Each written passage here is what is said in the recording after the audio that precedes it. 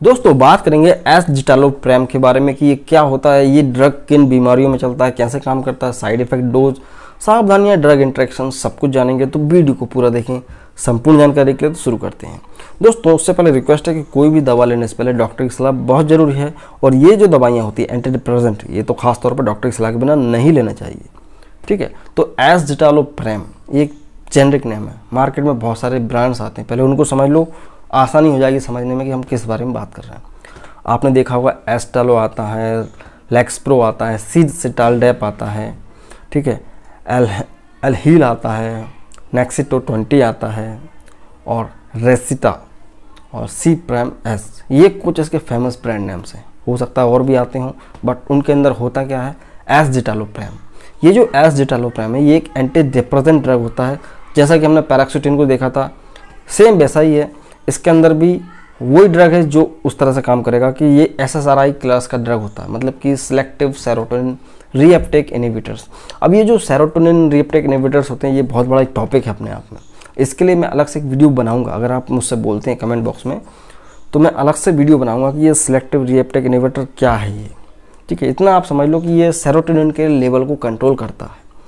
Serotonin एक हमारा brain का एक न्यूरो है, जो कि हमारे ब्रेन की मेंटल कंडीशन को मेंटेन रखता है।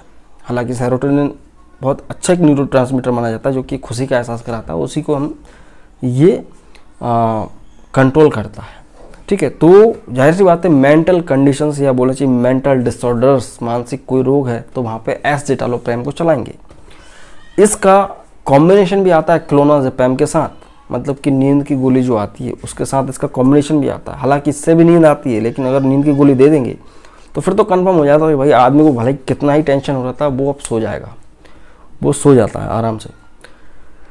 ठीक है तो अब जानते हैं कि इसका इस्तेमाल कहाँ कहाँ किया जाएगा।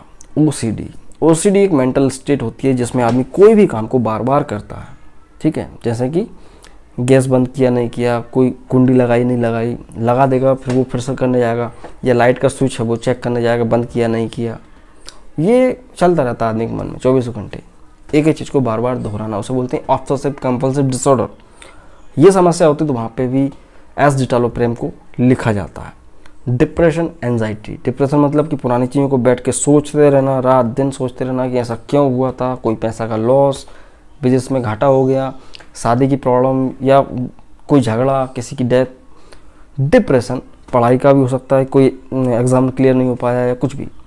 एनजाइटी भविष्य में क्या होगा? मेरे साथ ऐसा कर पाऊँगा, नहीं होगा, ये सब कुछ एनजाइटी और डिप्रेशन दोनों में इसको चलाया जा सकता है। कि सिर्फ़ और सिर्फ़ मन को काम डाउन करना है, ठीक है? हमारे ब्रेन को काम डाउन करना है। तो ये इस तरह से काम करेगा इन सब समस्याओं में। उसके अलावा मसल स्पाज्म होता है कई बार, जब ये सब चीज़ बढ़ जाती है तो हाथ में के हाथ पैरों में अठन भी होने लगती है। उसको भी कंट्रोल कर सकता है। मेंस्ट्रुअल सिंड्रोम एक समस्या होती है महिलाओं के साथ। इनको पहली पहली बार या अभी अभी नया पीरियड्स आना शुरू होते हैं। मैंसेज आना शुरू हुए हैं तो उनको क्या सोचती रहती हैं, अपने ही मन में कुछ ना कुछ सोचते रहते हैं। डरी रहती हैं, सहमी रहती हैं कि ये क्या हो रहा है। तो इस कंडीशन को भी कंट्रोल करने के लिए इसको लिखा जा सकता है। सबसे इम्पोर्टेंट शराब, अफीम, गांजा, इसकी अगर किसी को लत होती है और उसको आप छुड़ा देते हैं तो कुछ विड्रॉल्स आते हैं, कुछ दिक्कतें आती हैं आदमी के साथ, ठीक है ना? तो खिंचाव होता है बॉडी के अंदर। तो उसको भी कंट्रोल करने के लिए एस डिटालोप्रेम को दिया जा सकता है। अगर किसी को शराब छोड़नी है, अफीम छोड़ना है, छोड़ दिया है, अब बेचैनी हो रही है, घबराहट होने लगी है तो आप एस डिटालोप्रेम देंगे तो उसको एक तकलीफ़ नहीं होगी। ठीक है तो ये होगा इसके किस यूजेस बात करेंगे कुछ ड्रग इंट्रैक्शंस की। अगर इसको दिया जा रहा है एस डिटालोप्रेम तो कौन कौन सी दवाइयाँ साथ में नहीं देना है? तो लाइनजोलिडिक एंटीबायोटिक होता है, एजिथ्रोमाइसिन होता है, कैलिथ्रोमाइसिन। ये एंटीबायोटिक साथ में नहीं जला सकते, ठीक है? ये इंट्रैक्ट करते हैं, एक दूसरे को इफ़ेक्ट को कम करते हैं, ठीक है? दिक्कत कुछ नहीं होगी, लेकिन इफ़ेक्ट ही कम हो जाएगा, ठीक है? और यहाँ पे दोस्तों फेनिटोइन है, फेनोवार्बिटोल है वॉरफ्रिन है, ये सब फ्रोसोमाइड है, ये सब दवाइयाँ जो हैं, नहीं चलाई जा सकती। एनसेड ड्रग्स होती हैं कुछ पैरासीटामोल, एस्प्रिन, डाइक्लोफेनिक, एसिक्लोफेनिक, ये सब दवाइयाँ बहुत सावधानी पूर्वक लिखी जाती हैं। अदरवाइज़ ये आपस में इंटरेक्ट करते हैं। ठीक है? तो ये हो गई इसकी कुछ ड्रग इंट्रेक्शन बात करेंगे कुछ सावधानियों की कि अगर कोई एस डिटालोप्रेम की टेबलेट खा रहा है तो उसको क्या सावधानियाँ रखना चाहिए? तो देखो, इसको खाने के बाद थोड़ा सा शेडेशन आएगा। तो मशीन पर काम करना नहीं है। कहीं पर चढ़ गए, ऊपर रस्सी वस्सी बाँध के तो वहाँ पर नहीं चढ़ना। ठीक है? या कोई ऐसा काम है जो कि रिस्की है? वहाँ पे नहीं जाना ड्राइविंग नहीं करना, बिल्कुल नहीं करना, ठीक है? शराब के साथ बिल्कुल नहीं लेना, ये सावधानियाँ हैं। बात करेंगे इसके कुछ साइड इफ़ेक्ट्स की, कि साइड इफ़ेक्ट क्या क्या हो सकते हैं।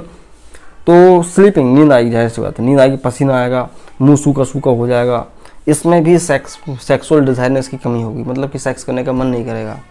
अगर महिलाएँ लेती हैं तो उनकी बेजाइना के अंदर ड्राइनेस सी होगी, जो एक मॉइस्चर रहता है ना, वो गायब हो जाएगा, ठीक है? तो वो ड्राइनेस हो सकती है तो उसका थोड़ा सा ध्यान रखना है।